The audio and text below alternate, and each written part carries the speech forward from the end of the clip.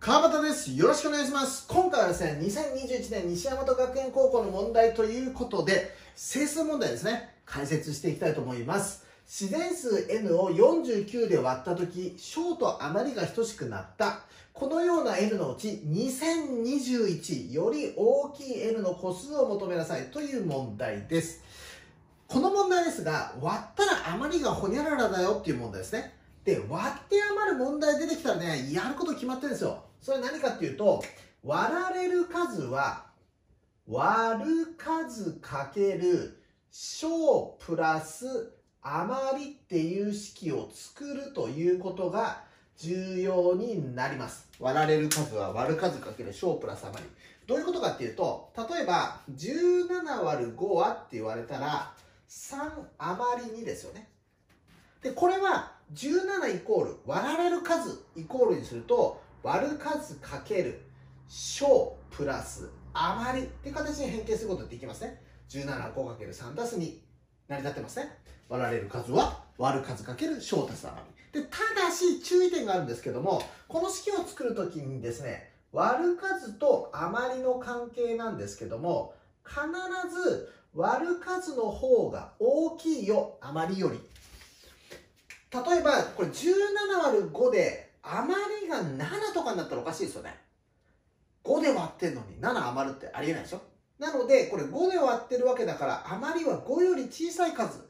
0か1か2か3か4しかないってことですね。5で割った場合は。ということなので、割る数と余り出てきたら割る数の方が大きいんだよってことなんですね。はい。ということなので、これを使ってね、解いていきたいと思います。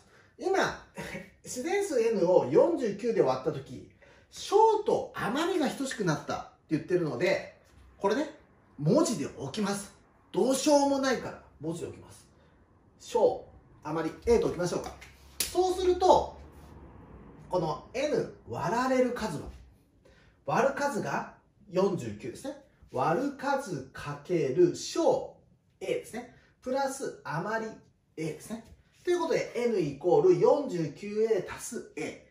ただし、割る数49は余りと比べてですね、えー、余りが A ですが、これよりも小さいよってことですね。A は49より小さい、えー、自然数になりますよってことですね。はい。で、そうすると n イコール 50A という形になりますね。これ計算したら。ってことはですね、この自然数 n っていうのは、これ50の倍数だってことがわかるんですよ。例えば50を49で割ったら1余り1になりますね。50の倍数、例えば 100?100 を49で割ったら、これも2で98余り、100-98で2、2余り2になってますね。なので確かに、えー、この50の倍数になってる時に、このね、小と余りが等しくなっていることがわかります。で、ただ、この数のうち2021より大きいものって言ってるんだから、この 50A が2021より大きいっていう不等式を立ててあげます。そうすると、両辺50で割って、50分の2021。そうすると、これを計算すると、えー、40余り50分の21。40余り21だからね。40と50分の21。ってことは、まあ、100分の42になるから、40.42ですね。だから40.42よりも大きい A 自然数ですね。で、ただし49より小さいってことなんですね。